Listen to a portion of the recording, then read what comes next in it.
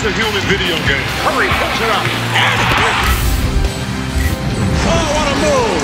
Oh, my goodness. Where did he come from? What an answer.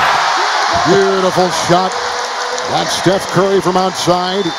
He has made more threes than any other player. and ended with the Lakers victory, but he's certainly paying through a lot of pain.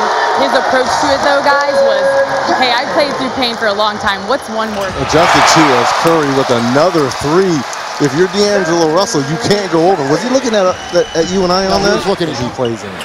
Ray Johnson short right there again. He started two of eight, but another offensive rebound. Here is Curry. Russell's on him. Nice feed. Thompson with the cut. What a pass coming from Steph Curry. And they come the other way, and Curry unleashes a three. Steph Curry's got 12. Last night he had 38 in Denver and 20 in the fourth quarter. After every game is, yeah, the, the record is nice, but it doesn't mean anything if we don't win a championship. And you hear the same thing as Curry knocks down his fifth three of the evening. You hear this coming out. and he's had the it factor um, for a long time. And 13 for him. Lou Williams has 14. Curry mm. at the other end with another three. Steph Curry continues to knock him in.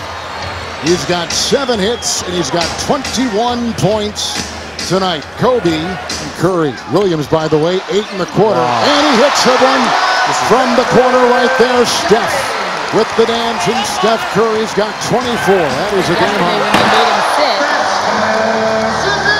Texted Bob The good defense and Curry at the other end. He drops the sledgehammer. That's the first two-point basket Curry has made tonight. Williams, Curry with the steal. They go the other way. Here's Harrison Barnes with a nice fake, and they bit, and he puts it through.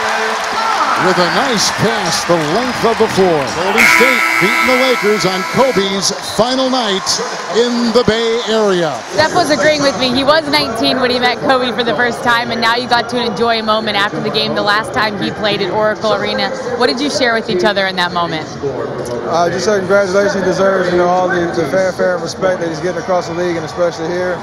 Um, you know, he told us to chase history. Told him I try to chase him and all he's done in his career, but he paved the way, and um, it's nice he gets this reception everywhere he goes.